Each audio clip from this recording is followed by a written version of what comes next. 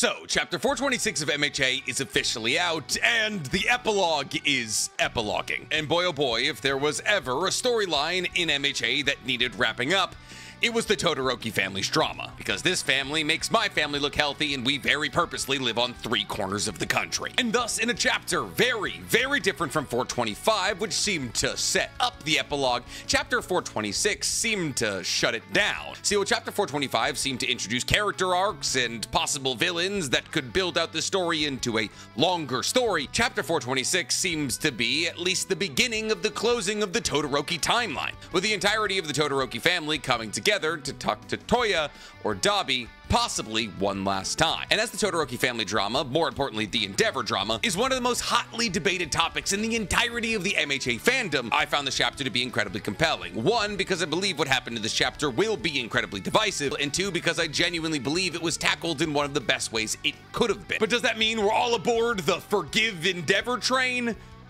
No, not really. But then again, neither is his family, and that's what's so genuinely compelling about the conclusion or possible conclusion of the Todoroki timeline story. But the Todoroki timeline isn't all that gets wrapped up in this chapter. As in this chapter, we also got check-ins with Hawks, Lady Nagant, Gentle, and La Brava, and even Spinner. Yes, this chapter, much more than chapter 425, seemed as though, for the first time yet, that MHA might just be ending. And when you consider the fact that Horikoshi has already came out and said that MHA is ending August 5th, which means that there is now only four chapters left, that makes a fair amount of sense. And thus, even though new villains weren't introduced in this chapter and we never got the check-in with Class 2A, a lot happened in this chapter that I genuinely believe is worth conversing about. Because if there's one thing I know about and love talking about, it's dysfunctional families. So with no further ado, let's get into chapter 426 of MHA, Explained. But before we get to explaining anything, guys, please,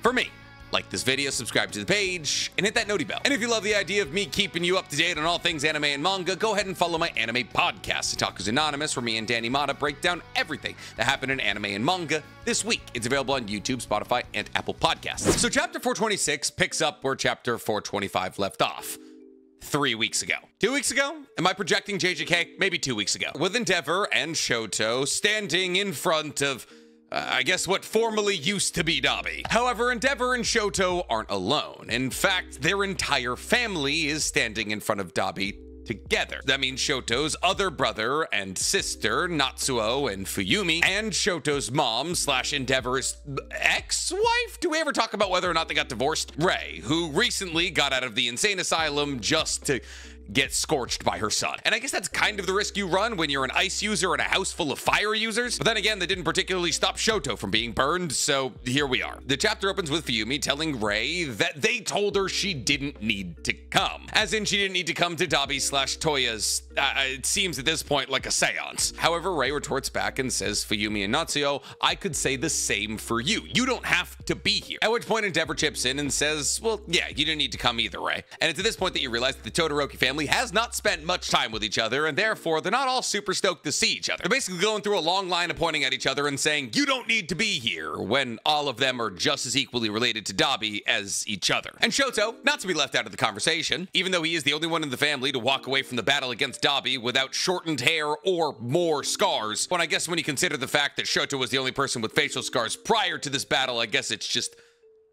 evening the playing field. And thus Shoto tells his entire family that it's not some sense of duty that brought me here today, and I think that applies to all of you. And I think at this moment, Shoto, somehow, as the youngest person in the family, is the only one being even remotely rational. See, because all the other family members pointing at each other and saying, you don't have to be here, ignores the reason of why they would go in the first place. It's not about having to be there. It's about wanting to be there. Nobody in this family has any obligation to even try to like the other people in this family, considering everything they put each other through. And yet, all of these people who are equally scarred by the likes of Toya and Endeavor are still choosing to come together to try to talk to Toya. And at this point the Toya's guard or doctor tells them he's only talking for a few minutes a day. And it's at this point that we see Toya, who is for lack of a better word, a charred skeleton. It kind of looks like Ira Gamagori his shackle regalia from Kill La Kill. Or like Mechamaru. He doesn't look good, and apparently he's not doing good either, as the doctor slash guard informs the Todoroki family that he's slowly but surely heading towards his death. However, that's kind of been the state of Toya for the entirety of the MHA manga. As we know, ever since Toya awoke from his years-long coma after burning down an entire mountain, that he was essentially supposed to die. However, the amount of hate and vitriol that Toya held in his heart for his family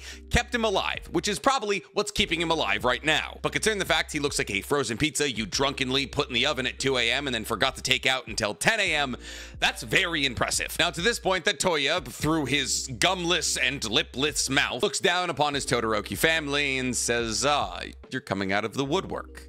It's like I'm a tourist spot or something. And kind of like me trying to make a bad punchline, he immediately pays for it with a coughing fit. Now, Rei is immediately concerned for Toya, but Endeavor takes this opportunity to start talking or monologuing. And Endeavor says, I've come to talk about what's to come, Toya.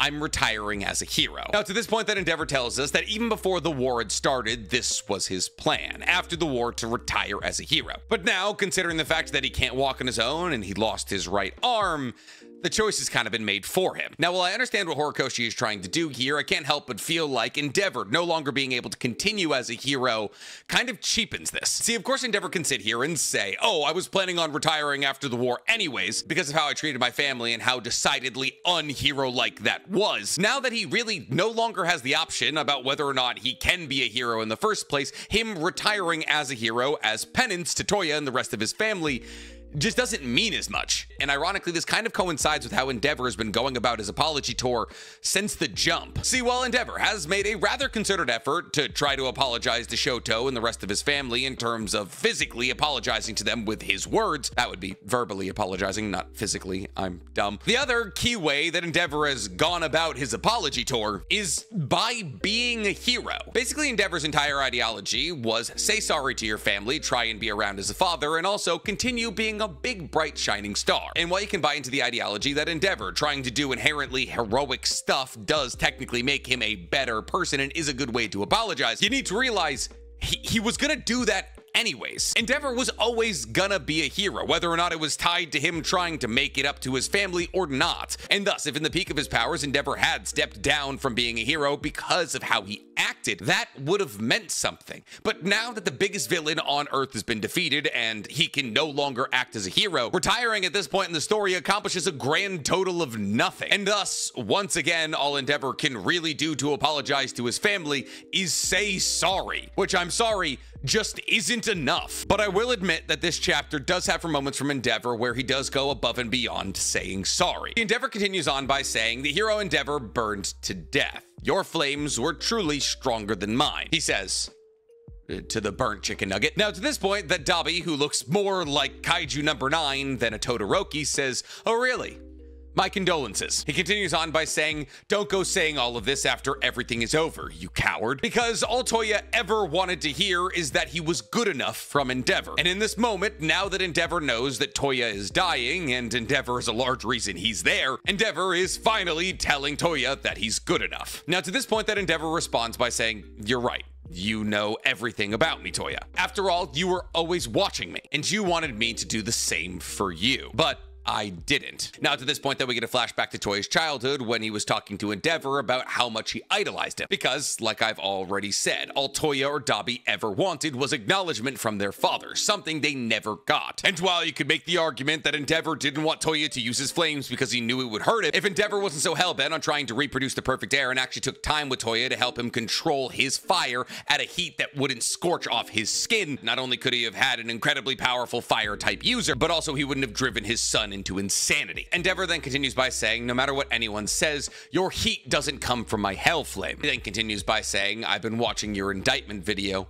every single day. Now, I believe what Endeavor is saying here is that Endeavor's been watching the video that Dabi made talking about how Endeavor is his father and how Dabi's killed 30 plus people every single day. Now, I can't imagine a real reason that Endeavor would do this other than like needlessly and privately punishing himself because while sure, the indictment video does talk about Toya's upbringing and how Endeavor abused him and how that abuse led to his eventual mental break, which led to him killing people and how that blood is on Endeavor's hands. And like, I guess technically I could see Endeavor watching this video over and over over and over again would allow him to assume blame for what he did to Toya and therefore to the people that Toya killed. But like those who have grievances with Endeavor are the people who should be hearing from him every single day. And fortunately, that's exactly where the conversation between Toya and Endeavor goes, as Endeavor tells Toya that from now on, I'm gonna come every single day.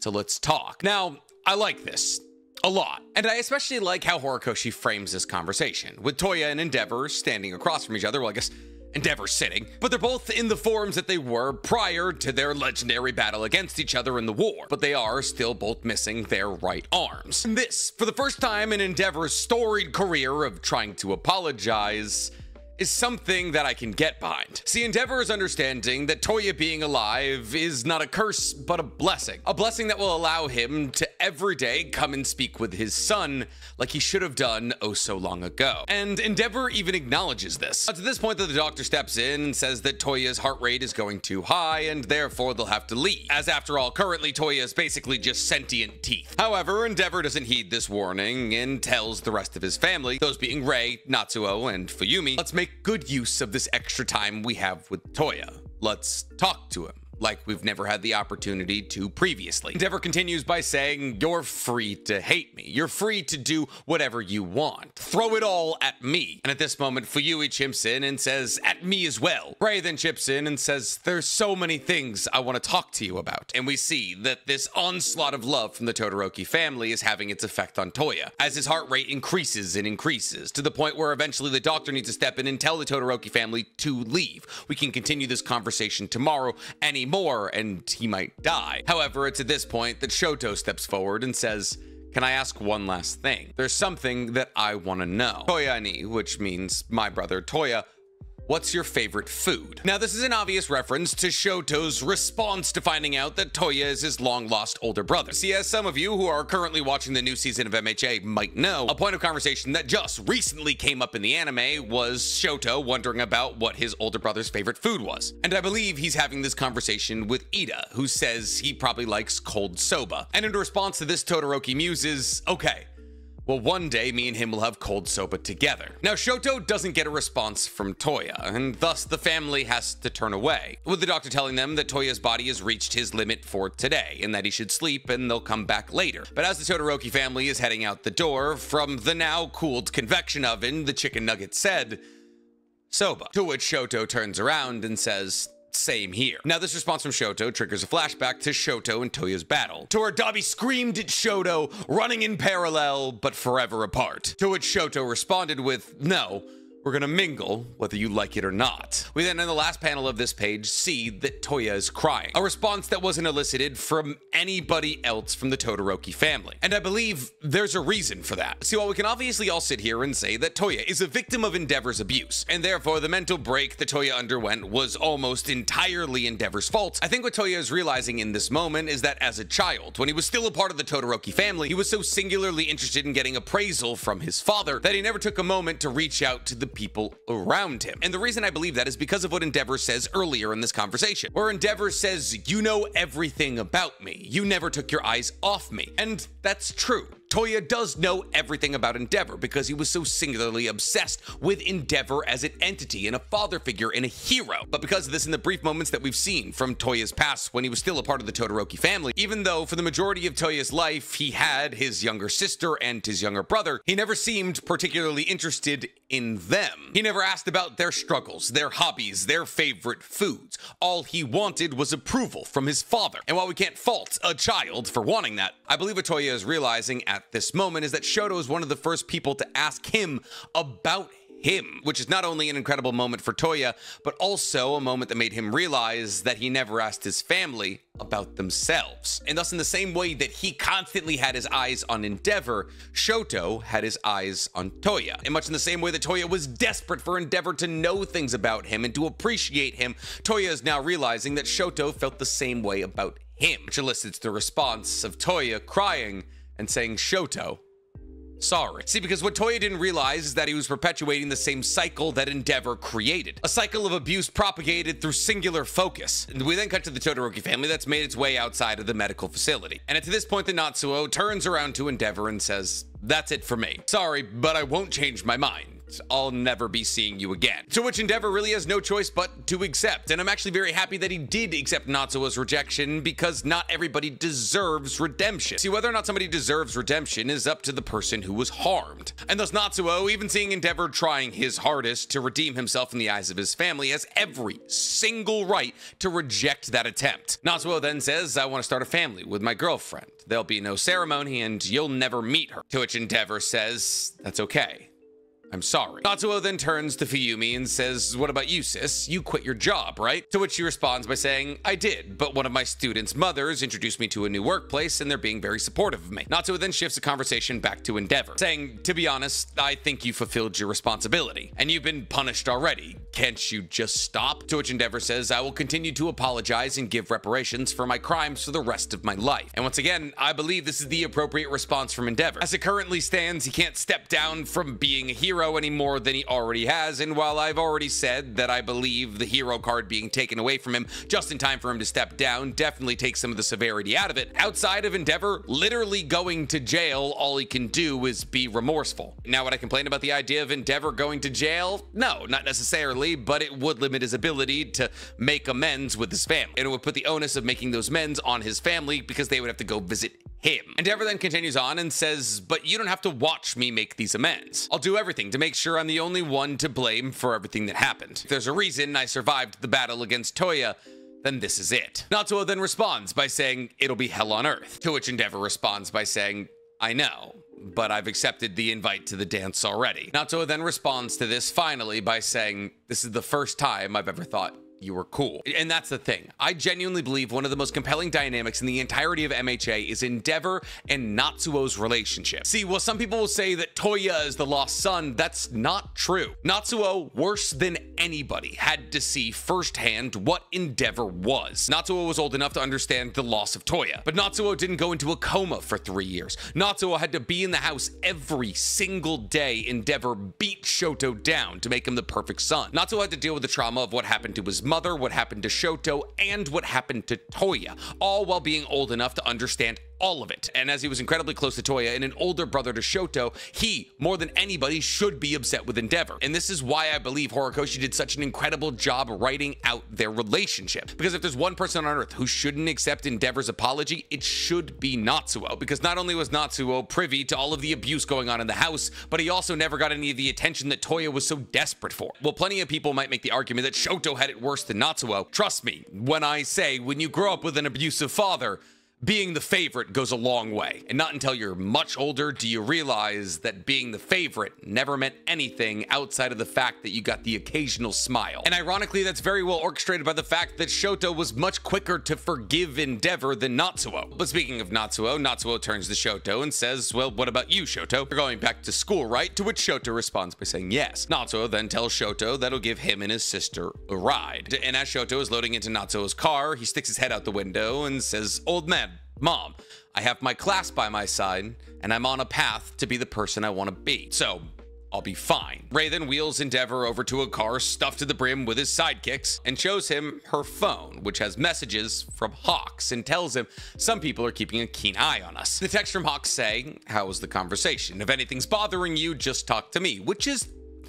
objectively kind of cute. The former number one and number two heroes chatting it out like best buds. And it's at this point that we cut to Hawks, who, mind you, and I feel as though I need to remind a fair amount of you, is currently quirkless and is going to be quirkless forever because All for One stole his quirk. And when All for One, the baby version of All for One, died, everybody who had their quirks stolen lost those quirks forever. And at that point, a lot of people thought Hawks was going to die because he was kind of like fading away, but that was just his quirk fading away. So Hawks is still alive, but he lost his quirk. So now Hawks, like Endeavor, is forced into a non-hero life. Back to Hawks, who's talking to Lady Nagant, who is also still alive. And Hawks is saying, what, you're not leaving, even though I said it's fine? Now, obviously, what Hawks is referencing here is the fact that Lady Nagant worked for All For One for a while as an assassin who tried to kill Deku, you're remembering all this? But then when she eventually switches sides to the good guys, All For One blows her up, which is why everybody thought she was dead. But she's not she's alive. And Lady Nagant responds to Hawks by saying, I don't want to go outside yet, the world's scary, and I might get used again. So she's not quirkless. If she's afraid that she's going to get used again, that still means she can make her hair into bullets and fire them. Now, Hawk responds to this news by saying, But I wanted your help with so many things, which kind of sounds like he wanted to use her. So maybe she's right to stay in prison. Now, Lady Nagant responds by saying, What we have to do now is wait and see how the world reacts to what Izuku Midoriya accomplished, and see how their reaction to this accomplishment changes the outside world. Lady Nagant says, The taxes will be paying for my meals for at least a little while longer, to which Hawks responds, You damn villain. I'm, listen,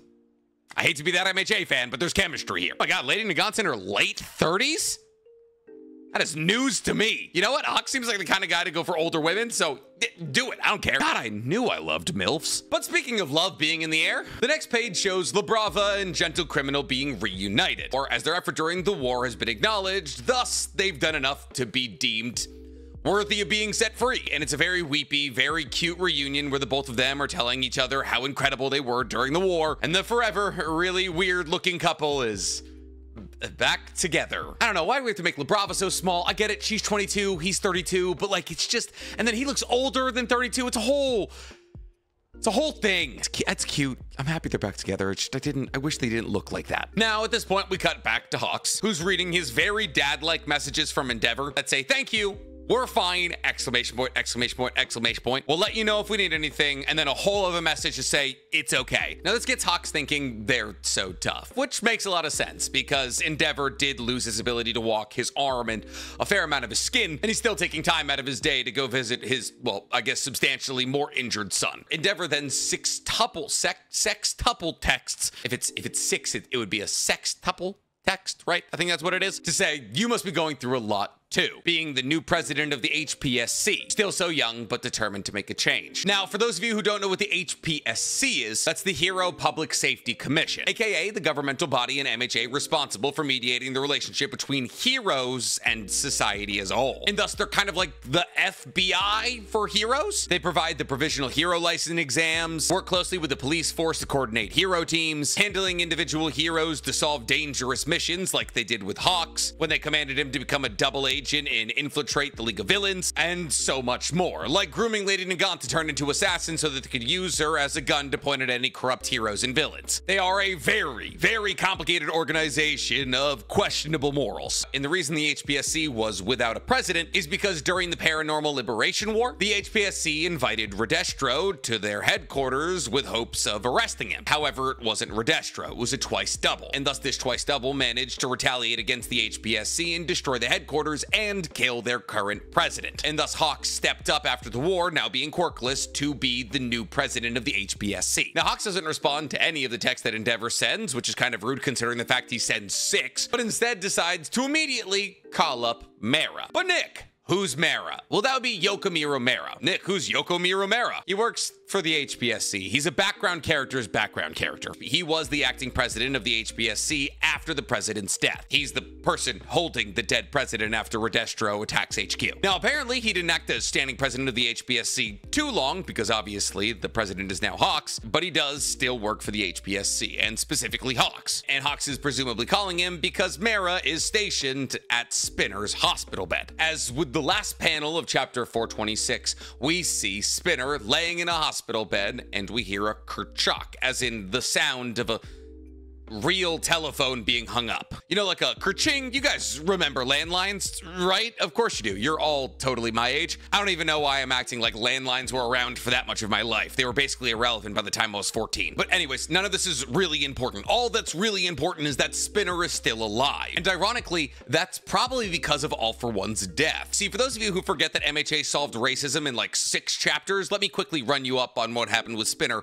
around chapter 370-ish, I believe. See, in the beginning part of the war, the idea that heteromorphs were discriminated against was introduced, and thus Spinner was made a social justice leader of sorts by the heteromorphs who felt as though they had to rally against the humans who had suppressed them for so long. However, in order to make sure that Spinner was strong enough to get this point home and strong enough to free, ooh, Portal Man, like all important characters in MHA, he has two names, and I'm Googling them. I don't need to Google it. It came back to me, Kurogiri. Oh, Nick, I thought you were supposed to know everything. There's so many names in this manga, and he's he's dead, so who cares? Anyways, in order to make sure that Spinner was strong enough to get back Kurogiri, All for One gave him two additional quirks. However, since it's been very well established by the MHA manga that a body shouldn't have more than one quirk outside of All for One and One for All, because of the mental load of that many quirks on your brain, Spinner, with all of these quirks, basically had the intelligence of a four-year-old. And thus Spinner was being manipulated by the other heteromorphs operating under All for One. And yet part of Spinner's personality still shone through as he tried to get to Kurogiri so Kurogiri could help Shigaraki in his dream of destruction. However, right before Spinner was able to get to Kurogiri, Present Mike hit him with a point blank, yeah! I don't Uh, scream. I don't know what his move is called. And it hit Spinner so hard it literally punched the other quirks off him. Now, unfortunately for Spinner, he had already been beaten up by everybody from Anavoice to Duple Arms to Present Mike, and therefore by the time he finally gets to Kurogiri, his body's not in the best shape. And thus it was somewhat assumed, even though Spinner was able to place one of Shigaraki's hands on Kurogiri's face and awake him, that Spinner was going to die. However, possibly because of All For One's death and the fact that when All For One died, all the people he stole quirks from and all the people he gave quirks to were freed from those shackles, this could have allowed for Spinner to bounce back. Which seems to be the case because the Spinner we see in the hospital bed looks like the Spinner of old, not the new multi-quirked Spinner. Now I find Spinner still being alive rather interesting because I believe it could set a precedent that we'll see in the next couple of chapters, that every villain that didn't explicitly die is still around. I mean, look at Dabi. If anybody should be dead, it's him. On top of that, Spinner's still alive, which makes me believe that other people, possibly like Toga, might still be kicking it. Now this raises the question, is Stain still alive? So while my answer previous to this chapter would have been no, he got literally juiced by All For One. Honestly, after seeing that Dabi was able to survive Jogo's domain expansion, it's hard for me to say that Stain has kicked the bucket. So I believe in the next couple of chapters, we'll see all the villains who acknowledge their wrongdoings at the end possibly still be alive. But at the same time, Stain killed 40 heroes. If he's dead, that's not the worst thing. But overall, this was a great chapter and very in line with what an epilogue should look like. But considering the fact that we only have four chapters left and the last chapter was introducing new characters and new storylines, makes me slightly concerned. Because four chapters is not a whole lot of time to wrap up this entire story while also possibly trying to do more with it. But I'm curious to hear from you guys. What'd you think about this chapter? Did you enjoy it? Do you think the epilogue's heading in the right direction? Do you forgive Endeavor? Tell me in the comments below. And while you guys are down there, please, for me, like this video, subscribe to the page, and hit that noti bell. Things like, oh yeah, no, I, the, I used my own blood to stop my back from breaking over the corner of this industrial window I was bent out on.